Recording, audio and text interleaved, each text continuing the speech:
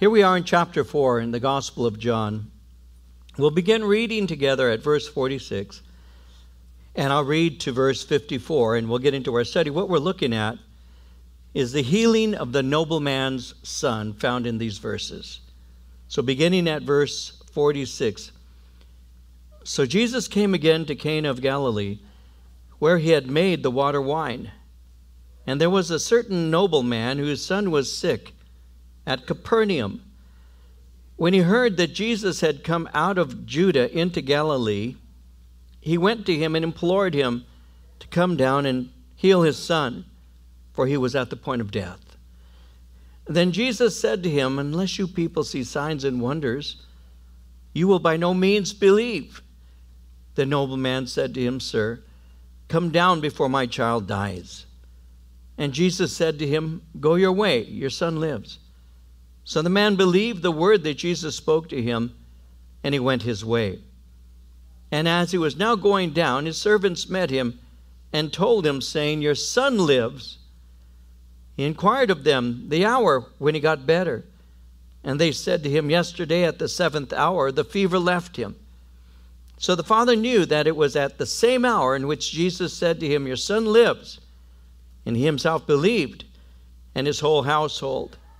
This again is the second sign Jesus did when he had come out of Judea into Galilee.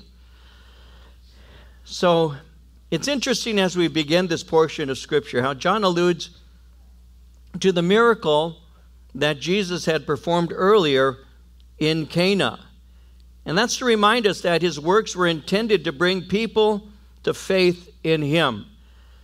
When you read Matthew in chapter 11, verses 2 through 5, it reads When John had heard in prison about the works of Christ, he sent two of his disciples and said to him, Are you the coming one, or do we look for another? And Jesus answered and said to them, Go tell John the things which you hear and see. The blind see, and the lame walk. The lepers are cleansed, the deaf hear. The dead are raised up, and the poor have the gospel preach to them. Are you the coming one? All you need to do is tell him what they're seeing and what they're hearing. And so miracles were part of what Jesus would do to convince people that he was sent from the Father. Now we know that Jesus never performed miracles simply to satisfy people's curiosity. You see, there's always people who want to see a miracle, and be honest with you, I don't blame them. You know, there are many who want to see miracles. And uh, when people were hearing while he was here, when they, they were hearing that he was performing, performing miracles, they wanted to see him perform one.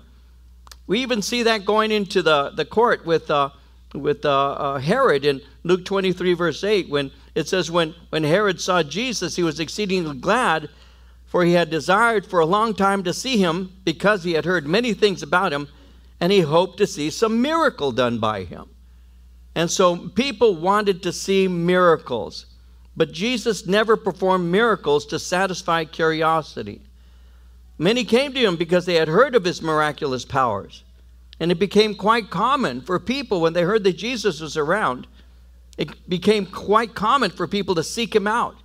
Matthew tells us in chapter 8, verse 16 when evening had come, they brought to him many who were demon possessed and he cast out the spirits with a word, and he healed all who were sick. So people were beginning to follow him. They were hearing of the miracles that he performed, and they wanted to see him perform miracles, and they knew he could. In Matthew 15, verse 30, great multitudes came to him, having with them the lame, blind, mute, the maimed, many others. They laid them down at Jesus' feet, and he healed them. So he performed miracles. But he didn't do so upon request. He wasn't on earth to just perform miracles, though some thought of him in that way. In Matthew 12, verses 38 through 40, some of the scribes and Pharisees answered, saying, Teacher, we want to see a sign from you. But he answered and said to them, An evil and adulterous generation seeks for a sign, and no sign will be given to it except the sign of the prophet Jonah. For as Jonah was three days and three nights in the belly of the great fish, so will the Son of Man be three days and three nights in the heart of the earth. We want to see a sign. He said, The greatest sign you're going to see is my resurrection. Now, the works that Christ performed had a purpose. They were intended to bring us to faith in him as our Messiah. John will say that in chapter 20 when he says in verses 30 and 31 Truly, Jesus did many other signs in the presence of his disciples, which are not written in this book. But these are written that you may believe that Jesus is the Christ, the Son of God, and that believing you may have life in his name. And so Jesus is performing miracles. And a miracle is now being asked of him. Again in verse 46, Jesus came again to Cana of Galilee, where he had made the water wine, and there was a certain nobleman whose son was sick at Capernaum. So John is now giving us details concerning a second miracle recorded in his gospel the healing of a nobleman's son. So when it speaks here concerning the city of Capernaum, when you're looking at a map, Capernaum was about 20 miles to the east of the city of Cana in the northern portion called Galilee. And it's a city that Jesus ministered in quite often. We already have noted this, but let me remind you the city became Jesus' ministry headquarters when he left Nazareth. The city of Capernaum was the home of Peter, Andrew, James, John, as well as Matthew. And after so many works there, Jesus even went on to pronounce a curse on the city because he had performed so many works there in Capernaum. And so the city of Capernaum was a place that Jesus was, was residing in as his, as his ministry um, headquarters, if you will. And so Capernaum is, is uh, noted here it says there was, in verse 46, a certain nobleman whose son was sick at Capernaum. Now, when you see nobleman, the word nobleman speaks of a royal official. He might have been part of Herod Antipas's court. And so this is a royal official that's being mentioned here. That's simply referred to as a certain nobleman. But his son, it says, is very sick and he's in the city of Capernaum. So, verse 47 when he heard that Jesus had come out of Judea from the south into Galilee, Galilee the north, he went to him, implored him, Come down, heal his son, for he was at the point of death. So Jesus' fame has spread. The entire area has heard of him, and Jesus is now well known. Matthew tells us in chapter 424 his fame went throughout all Syria and they brought to him all sick people who were afflicted with various diseases and torments, those who were demon possessed, epileptics, paralytics, again, and he healed them. And so his, his fame has spread. This man has heard of him, knows of him, is sending for him. It says in verse 47 he went to him and implored him, begged him, Come down, heal my son. He's going to die. There's no chance of him recovering. And the father is beside himself with concern. Some of us, as parents, could understand that to some degree. If you're a father or a mother and you've got a child who's very ill and you're concerned for that baby, you get desperate. You're concerned. You don't know what to do. You know, as, as we raised four kids, there were times when they would be ill. And times when Marie and I didn't have the wherewithal to take care of them, we didn't have the finances. And now, if they're ill, what are we going to do? And, and if they get sick, you begin to be greatly concerned. But what happens when that baby's at the point of death, when that young one is at the point of death? And that's what's happening with this nobleman. His son, who he dearly loves, is very sick. He's at the point of death, and he comes and begs Jesus Christ, please do something for us. So as I look at him, let me take a moment to say this father's a great example. This is a man who loved his son, and this is also a man who knew who am I supposed to bring my concerns to? At a certain point, we men, we who are husbands, we who are fathers, we have to come to the point of realizing that the most important and best thing we can ever do is to bring our kids to the Lord. Whenever we have a need, we need to know who to go to. We can't solve all the problems, we can't make them well. We have to go to the Lord on their behalf. We have to learn to do that. And if you have yet to learn to do that, you need to learn to do that. We can't make them well. There are some things that our kids are doing even right now. They may not be sick in terms of their physical illness, but their life isn't a healthy life. And there are things we need to learn to do. And one of the things that we need to learn to do is to pray and to take our, take our concerns to Jesus Christ, to cast our cares on Him because He cares for us. There are things that we, we can do. We can put food on the table, we can put shoes on their feet, clothing on their back. We can do things like that financially. We can do a lot of things for our kids that gives to them advantages. But there are times when our kids are simply going in a direction that we would not have them to go. And there's really nothing we can do. It's not, it's not like we don't want to, it's that we run out of how can we do. And I had to learn, and I still do. By the way, even uh, any parent knows this, but the older your kids get, always remember this they're still your kids. They're still your kids. I mean, my mom, before she died, my mom died in her early 80s, but when my mom was in her late 60s and early 70s, she still wanted to try and hold me on her lap, you know, and because why? You know, that's what I would ask. Why? But why? Because to her, I was always going to be her baby. That's the way it is. So get used to it. I mean, if, if your mom still, you know, loves you like you're, and you go, oh, you know, I'm old, mom, come on, uh, you know, get used to it. You're always going to be the baby. Always. And my kids know that. I call them my babies. I always do. I've got a 41 year old baby. my Corinne. But my 41 year old baby is going to have another baby. She's going to have another baby. Oh my, oh my goodness. 41 years old. Stop.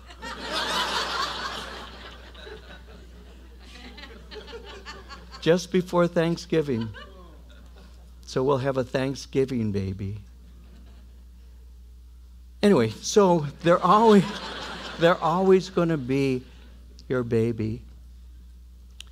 Excuse me, and you can still and you still as I do and Marie my wife does, you still go to Jesus when you're concerned for him. It's the first place we need to go, guys. And in this man's case, there's nothing he can do. He's at the point of death. Come and help me. I need your help. He says that when he heard that Jesus had come out of Judea into Galilee, meaning he had come from the south and he was now close by, he went to him and begged him, implored him, come down and heal his son, for he's at the point of death. Now, notice Jesus' response in verse 48. Jesus said to him, Unless you people see signs and wonders, you will by no means believe. Now, the man had basically done what the psalmist had taught him to do. When the psalmist in Psalm 50, verse 15, said, Call upon me in the day of trouble, I will deliver you. You shall glorify me. And the man had done that. He had taken the words of the psalmist, will say, to heart. In Psalm 145, 18, the Lord is near to all who call upon him, to all who call upon him in truth. He did what he was supposed to do. He implored him. He came to him. He said, Help me.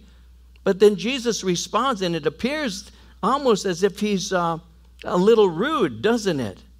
Unless you, unless you people see signs and wonders, you will by no means believe. That's kind of stern. Now, Jesus had just ministered to Samaritans, and many had believed him. But here, notice with me, Jesus is speaking to Jews and he's rebuking their hardened hearts. He's already been performing miracles. We've seen them mentioned in chapter 2, but they're desiring to see this. Again, at first it seems like a harsh, even an unfeeling rebuke. It's like he's saying, if, if you're interested in my immediate works, that's one thing. but you're not interested in the knowledge of who I am. You, you want to see works, but you're not interested in me. You want to see me do something for you, but you're not interested in who I am. In, in 1 Corinthians chapter 1, verses 22 and 23, Paul said, Jews request a sign, Greeks seek after wisdom, but we preach Christ crucified. To the Jews, a stumbling block. To the Greeks, foolishness. But to those who are called, both Jews and Greeks, Christ the power of God and the wisdom of God. Jews request a sign, and Greeks are looking for wisdom. You see, some people believe in miracles, they do, but they don't know the one who performs them. Some can speak of wonders that they've seen, but they can't speak of the one who performs these wonders. One of my favorite scriptures is found in Psalm 103, verse 7. It simply reads, He made known his ways to Moses, his acts to the people of Israel. His ways and his acts. He made his ways known to Moses, his acts to the children of Israel. Ways and acts. There are people, I, will illustrate it like this. There are people who know Pastor David will say, by my activities or my actions or my acts. So, somebody says, What church do you go to? And they say, The response is, I, I go to Calvary Chino Valley. Oh, you know Pastor David? Oh, yeah, he teaches on Wednesday, he teaches on Sunday. Yeah, I know him. How well do you know? No, no, I, I just, I just, I just know him. I see him up there. They know my acts.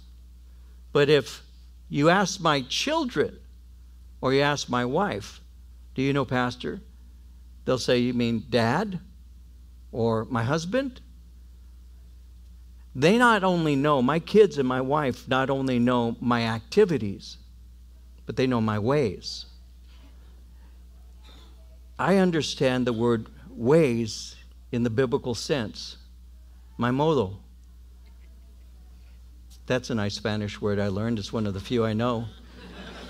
my modo. They know my ways. They know not what I'm doing, but why I do those things.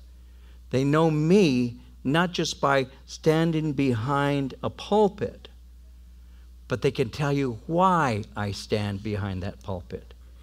See, there's a difference between knowing the activities and knowing the reasons.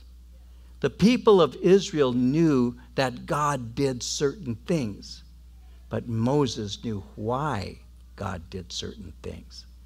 Do you get it? He showed his ways to Moses, but his acts to the children of Israel. So the children of Israel could say, that God had done a work with the Red Sea and that he had slaughtered Egyptians, and they knew his acts. Moses knew why. And there's a difference between knowing that God can do something and knowing the God who does that thing. And there's a lot of people today who believe that there is a God who does miracles. And then there are those who know why God does miracles.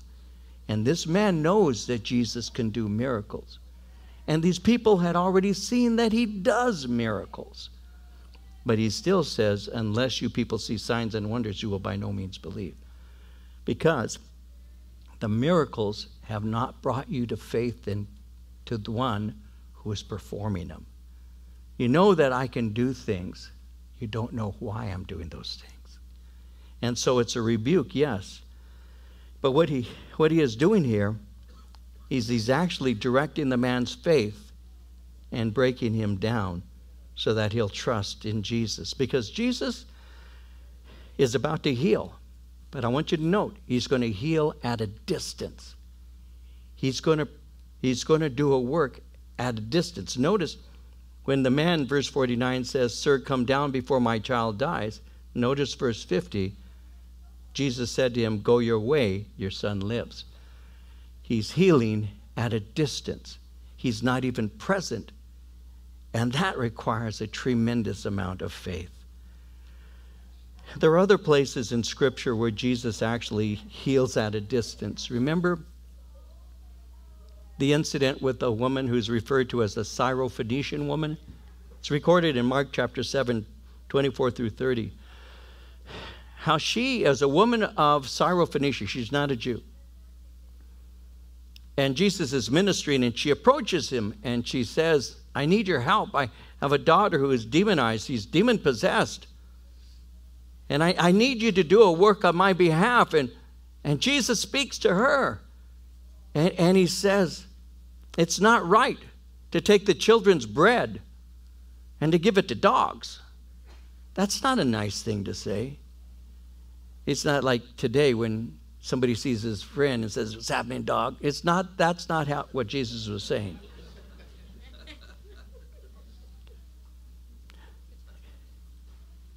And she said, Well, that's true.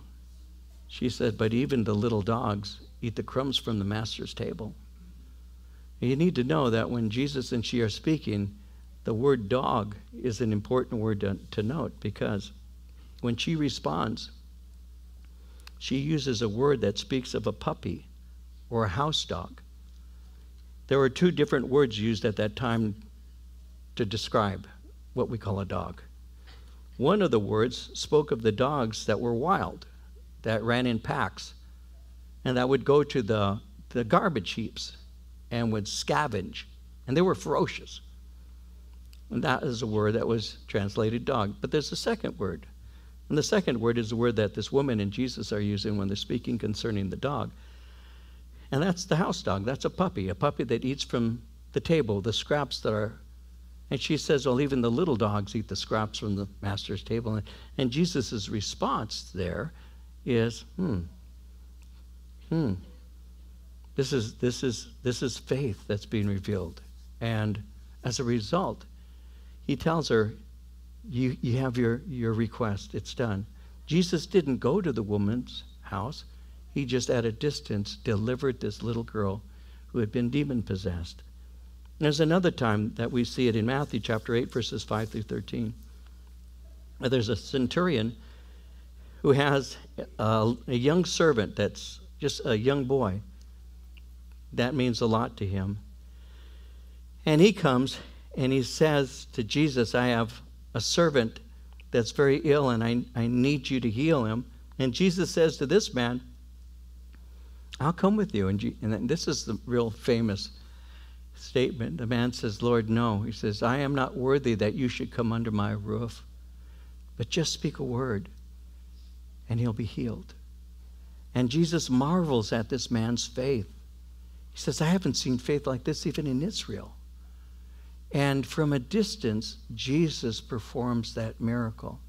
So he does it with the Syrophoenician's daughter, he does it with the centurion servant, and he's about to do it here in the case of this nobleman's son.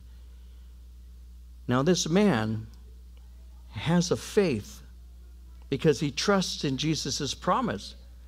But we have to realize it would have been difficult to just listen to what he's saying and to believe. So we need to remember that faith is often refined through testing.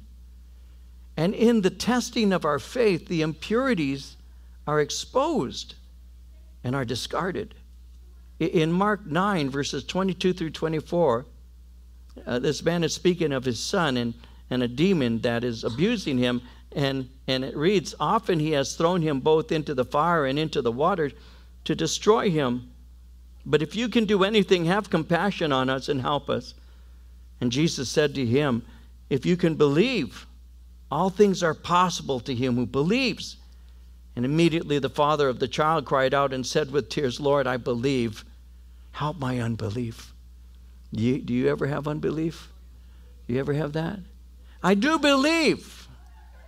It's not the things I believe that I'm concerned with, it's the unbelief that seems to surround and overpower my belief. And Jesus says that the work is going to be done. It's one thing to say it, it's another thing to receive it. And in the midst of all of this, this man's faith is being stretched. Now, think about it. This man has already shown faith. He made the effort to come to Jesus. Again, that's at least a day's journey away. It's about 20 miles. As a rich and powerful man, he humbled himself and he came to a carpenter. He recognized that he himself had no power to help his son, and he came to the one he believed could. And he would not be discouraged. He remained persistent, even when Jesus at first seems to be rebuking him and those around him.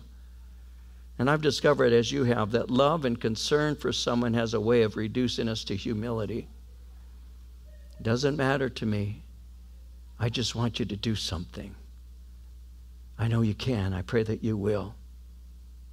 So the man's response again in verse 49 Sir, come down before my child dies. Notice he didn't argue. Notice he didn't defend himself. And notice he didn't get insulted. He simply pleaded for his son. And when he says, My child, uh, my child is an expression of tenderness and affection.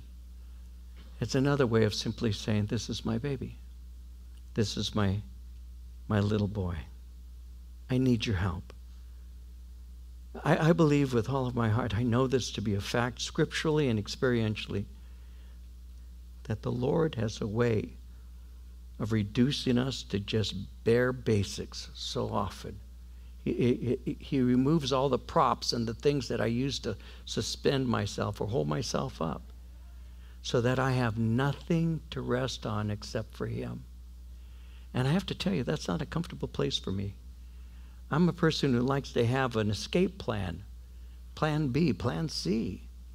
But He has a way of taking those props, removing those crutches, so that the only thing I can be propped up with is Him. He has a way of removing all of the things that I can trust in until I can trust only in Him. Have you discovered that too? Have you found that to be true? It is true. He'll remove things that you so held fast to. Sometimes the things that you felt you had learned from Him in the past, then He has a way of upsetting even those things so that you have a more refined faith. Again, Psalm 40, verse 17 I am poor and needy Yet the Lord thinks upon me. You are my help and my deliverer. Do not delay, oh my God. Have you been there? You're my help. You're my deliverer. But don't delay. I need you now. And that's what this man is doing. You see, all that he had was not enough to save his baby's life, his money, his influence, his power, his position, his prestige. Nothing that he had can help. When it all came down, he had advantages. But with all of his advantages, he was still helpless. He didn't have the resources for healing his son. There's nothing that he can do. And he's at that place when Jesus in verse 50 says, Go your way, your son lives. The man believed the word that Jesus spoke to him and went his way. I'm not coming home with you, but you can go home in peace. Your child lives. You need to take me at my word. I don't have to come with you. I can heal him from here. And the man believed, it says. The man believed the word that Jesus spoke to him, and he went his way. Well, in verse 51, it says, as he was now going down, his servants met him and told him, saying, Your son lives. He inquired of them the hour when he got better, and they said to him, Yesterday at the seventh hour, the fever left him. So the father knew that it was at the same hour in which Jesus said to him, Your son lives. And he himself believed in his whole household. And so, after receiving Jesus' word, he trusted him and he remained overnight. You see that because in verse 52, when he's inquiring about the hour, they say yesterday. And so that means he spent the night. The journey home from where he was at was 20 miles. That's what the Jews would call a, uh, that was the, uh, what the Jews would say that you could cover in one day, a 20 mile thing. So naturally, he had gone to see Jesus. Jesus had spoken to him. He spent the night, and the next day he's on his way making this 20 mile journey. And as he's going down, his servants meet him, according to verse 51. And they're saying to him, His son's okay. Now, When you think about that, that means that when Jesus spoke the day before, he was able to sleep in peace. And then the next day begin his journey. You want to mark down Isaiah 26 3. You will keep him in perfect peace whose mind is stayed on you because he trusts in you. Have you ever been so upset and so concerned that you were praying your heart out, maybe into the evening, even late at night? And finally, you have a sense that the Lord is giving you peace, and you put your head on your pillow and you sleep like a child, knowing that God is in control. I've wrestled many times. Like I said, I have four kids. I've wrestled a lot over the years when my children were going through their teen years, especially. Because you know what? They may have a pastor for a, for a father, but they have a sin nature of their own. They got it from their mom.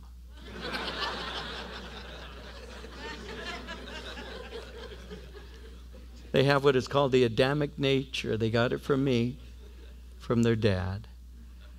And though they've been raised like yours, with devotions and prayer, I can't remember a time in their early life that we didn't pray for them when they went to school, that we didn't pray for them at night when they went to bed, that we didn't say grace with them at every meal we ever had. They had devotions five nights out of the week for years. For years. I would read them uh, biographies or autobiographies of missionaries. I would read them the Bible. They would hold hands as small children. I'd have them seated, excuse me, seated in front of me on the uh, front room floor. When they began to be able to read, I'd have their little Bibles in front of them. I would ask them, What do you want to pray for? I still remember when I was teaching them about Solomon. I still remember. My kids were, were all young. Anna, I think at that age, she was about, at that time, was about four or five. And I, I still remember we're going through Solomon where God says to Solomon, Ask, what is it that you want? Anything, and I'll give it to you, Solomon. And I remember wanting to make this point with my children, and so I stopped my reading in that dramatic pastoral fashion. And I said, Wow, God says you can have anything, anything that you want. Any, anything. What would you want? The oldest, Corinne, tries to be spiritual and says some spiritual thing. and David, my son, tries to outdo her with some spiritual thing. And Joseph says a spiritual thing, and then I come to Anna, the baby.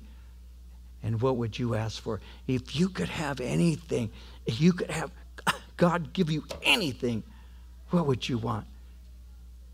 Gum. That was that.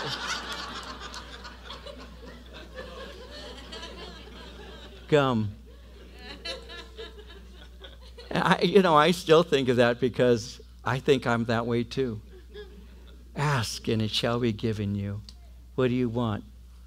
Gum. I can do the same kind of thing. I, I, I my sights are set so low. But we, we pour it into our children with tears and patient love.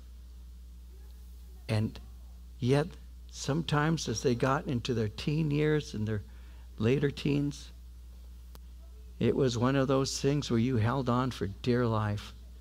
I am so serious. And some of you parents know what I mean. You hold on for dear life. So, my advice has always been to parents, because there's some parents with small, perfect kids. The kids are so perfect, they embarrass you, they're that good. And they don't understand how you could have kids who aren't perfect too. You need to use my way of raising kids. And I just say, that's unusual. That's really neat. And I bless the Lord for that. But I didn't have that. I had ordinary kids. and they were tough. And they could be heartbreakers. And there was there were a lot of tears and a lot of there was a lot of pain. But it's all worth it in the end because all four of my kids serve the Lord now. Thank God. So you hold on and you go to the Lord on your face and you implore Him and you say, Save my child. He is near to death. And that's what this man is doing. Save my boy. He's going to die. And that's what he's doing. And Jesus says, He's all right. And I've done that. And I put my head on my pillow at night. And I remember Isaiah 26, 3. You will keep him in perfect peace whose mind is stayed on you because he trusts in you and I've been able to put my head on my pillow and sleep. Philippians 4 7 says, The peace of God, which surpasses all understanding, will guard your hearts and minds through Christ Jesus. So you cast your cares on Him. And so they come to Him and they say to him in verse 51, Your son lives. So he inquires of them the hour when he got better.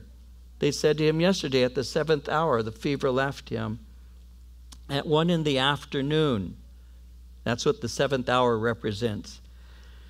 Now, this may be a way of testing to see whether it was a coincidence or a miracle. So let me say this very briefly, but there is obviously nothing wrong with testing to see whether a miracle actually occurred. And in our day, there are, there are many who profess to be miracle workers. And it seems that that number is increasing. On my Facebook page, I'm still old, so I still use Facebook. There'll be people who are putting on my feed, buy my book, and you'll know how to be a prophet, and you'll know how to prophesy and perform miracles, and all you got to do is come to my seminar. You guys, if you're on social network with, I know all of you more than likely are. You know that there are feeds that come and and requests for this book and come to this conference. That, that I read those every day. I'll teach you how to break the 200 barrier and and and you know there's there's obviously some algorithm that's involved so that they send me spiritual things all the time about pastors conferences and this and that. So I get these things all the time. How to perform miracles. Come to our miracle or our prophetic school. We'll teach you the seven steps of of being a prophet, things of that nature. I get those all the time. Perhaps some of you may, may see those on your own feed, but I get those all the time. There's nothing wrong with testing to see whether these things are true or not. As a matter of fact, it's, it's a wise thing to do. It's a command in the Old Testament. In the book of Deuteronomy, in chapter 13, listen to what it says. If there arises among you a prophet or a dreamer of dreams, and he gives you a sign or a wonder. And the sign or the wonder comes to pass of which he spoke to you, saying, Let us go after other gods, which you have not known. Let us serve them. You shall not listen to the words of that prophet or that dreamer of dreams. For the Lord your God is testing you to know whether you love the Lord your God with all your heart and with all your soul. If he says, even if his miracle or his word comes to pass, he says, there's this new way to go. He says, no, don't follow him. In the Old Testament, you have that. In the New, you have the same. 2 Peter 2, verse 1.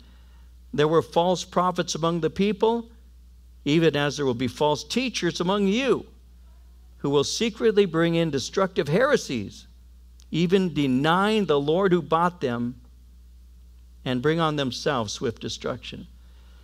The church is to put the words and the works of these people to a test. 1 Thessalonians 5:21 test all things hold fast what is good 1 John 4:1 Beloved do not believe every spirit test the spirits whether they are of God because many false prophets have gone out into the world and what is the test does what is being said line up with God's word? Isaiah 8:20 To the law and to the testimony if they speak not according to this word it is because there's no light in them. Somebody said the law here is a reference to the law of Moses, the first 5 books of the Old Testament, which contains also the 10 commandments. The testimony is a reference to the rest of the Old Testament. And by extension, includes the New Testament, which contains the testimony of Jesus Christ, Revelation 12 17. When joined together, this explains what the law of Moses means in mankind's practical experience. How do I know that this is from the Lord? I, it has to line up with Scripture. And if it's taken me away from Christ and taken me to a new way, a different way, it's not true. So, it's wise and proper to test any miracle to see whether it's from God. Does that work bring glory to God?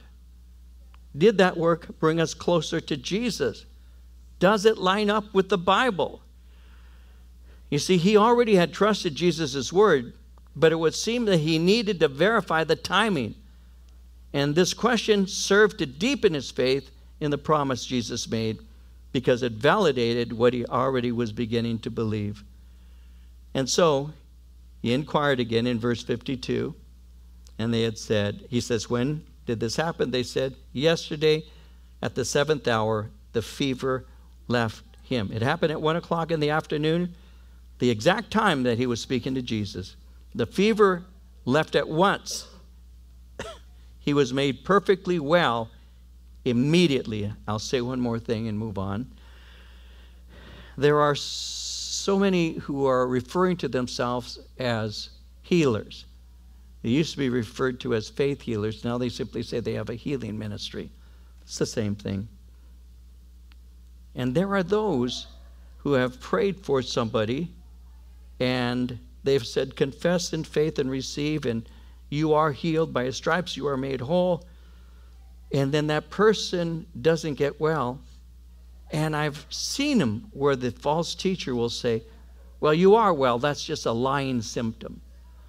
Well, in this particular case, he was healed immediately. Immediately. No lying symptoms involved at all.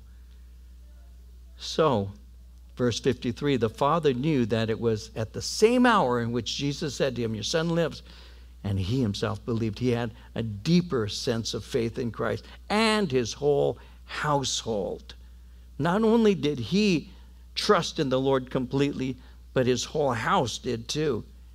His whole household was converted, and the sickness of the child became the means of salvation for the household. So, very often, what at first appears to be the means of our greatest hurt can be turned to our greatest joy. And that's because faith is often refined in the furnace of affliction. In Psalm 119, verse 67, the psalmist said, and this is so, so deep Before I was afflicted, I went astray, but now I keep your word. That's interesting, but it's true. Let's see if I can say this briefly. I can't say anything briefly, but I'll try.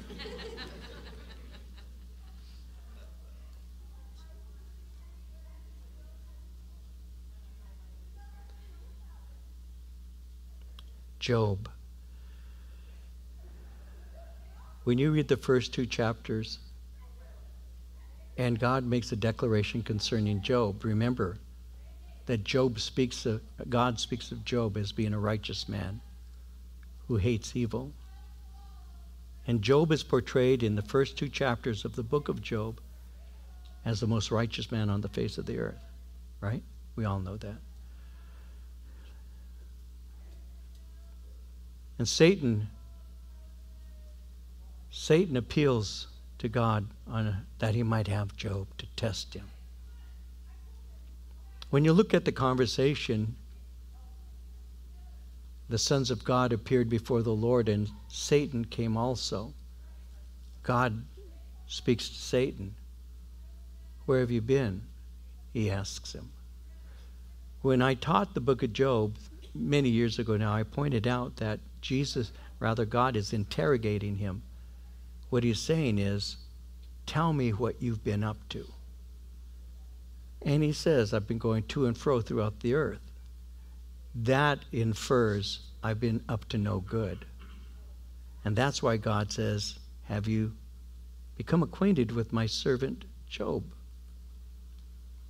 And you, if you if you read the scriptures as they're really portraying that conversation, you can almost see a look in the face of the enemy.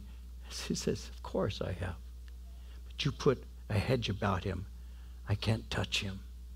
Now, God already knows that he's been looking for a weakness in Job. He just simply asks him or tells him, he's really commanding him to give an account. It's a commanding officer speaking to a lesser. Give an account. Yeah, I've been there. I've looked around. Yes, I've seen him.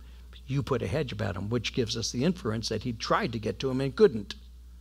So when you begin to read Job, you see that God says to him, he, and he says, Satan says, you know, but if you give me an opportunity, he'll curse you to your faith, face. And he says, you can do this and that, but you can't take his life. So what's he do?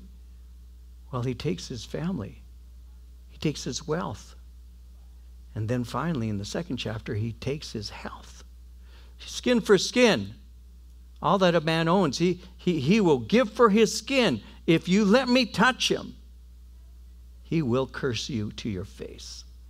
Because Satan knows that when we're sick, we have a tendency of blaming God. Why won't you help me? I'm in need. I'm crying out. I can't walk. I'm hurt. My back's killing me. We have a way of thinking God has rejected us. And he knew that because he had been doing that with man since man was on the face of the earth. God says you can touch you can you can you can touch him, but you can't take his life. And so you see throughout the book of Job the afflictions that were upon this righteous man. A man that at one time, well, he says it, I walk into a room and all the elders stand to give me honor. And now I've become the song of children who deride me in the street. And my own wife is asking me, How long will you hold to your integrity, curse God, and die? Thanks, honey. Appreciate your encouragement. And all along, he wouldn't accuse the Lord, though he didn't understand God's ways. In the affliction that he went through, he was able to say, I know that my Redeemer lives. I know that my Redeemer lives. Oh, I wish I had a daysman. I wish I had a mediator, someone to stand before me and God between us so I could plead my cause. He was broken. And then finally, at the end in the book of Job, is where the Lord, how long will you darken with your loudness and your complaints? And God begins, He says, He says, equip yourself as a man. And listen, I'm going to ask you some questions. You've been asking all these questions all this time. And then God starts asking him questions. Where were you when I when I put the stars in place, when I told the sea to go this far and go no further? Where were you? I didn't ask you for any advice, and now what? You've got questions, and, and you see it. It's a very powerful rebuke that the Lord gives to this, this very righteous man. And then Job finally says, I, I repent in dust sackcloth and ashes, he says, I heard of you with the hearing of my ear, but now I see you with the seeing of my eye. And I abhor myself. I've come to realize that in all of this affliction, I've learned something of you. Now, I'm not saying go home and say, God, make me like Job. I want to sit with a broken piece of pottery and scrape off the the scabs. Now, I'm not saying that. But I am saying that in the midst of his affliction, as he cried out, he learned something that he wouldn't have known any other way. And I'm not one who will ever write books on suffering because, frankly, I'm the one who hates it the most. But I can tell you that it has been in my quiet hours, in my brokenness, and my tears, and saying, God, help that I've seen that my God never leaves me nor forsakes me. I've discovered that. I've discovered that when I've been broken, that He lifts me and heals me. And I have seen that He's able to do that. And I have, and so have you. I have learned things about God in the furnace of affliction, things I would not have known about. And not only that, but I've discovered that those are the things that I've brought into my ministry for God. So when I speak to people who are hurt and broken, I can say to them, understand, God is with you. He will not forsake you. He never leaves you. He will deliver you, and you will rejoice. I know my God is able because that's what God does. And this man had a little boy that he loved with all of his heart, and he was dying. And he came to the only person he thought could help. And Jesus at first seems to rebuke him, but finally says, Go your way. He lives. And he starts making his way home. And his men come and say, Your son's alive. What time? One o'clock. That's when Jesus had said that. And he believed. And he told his family, This is what happened. Fathers, tell your children about the wonderful works of God so that they too might believe. And that's what we see in this story here. He was able to influence his family to follow Messiah Jesus. And then finally, verse 54 this again is the second sign Jesus did when he came out of Judea into Galilee. This is the sign, the second one mentioned in the Gospel of John. A sign marked his first mention in Galilee, and this sign marks the second. Interestingly, the first miracle was performed without a request, but the second miracle was drawn from him by the imperfect faith and agonizing pleading of a father. When he did the work in Cana and made the water into wine, that's a different kind of miracle because nobody asked him to do that. His mother simply said, They're out of wine. And that's when Jesus had said to her, What do I have to do with you? And that's when she said to the men, Whatever he says to you, you do it. This time, he's asked. And this time, he performs. A little bit different, but it's the second miracle mentioned in John's Gospel.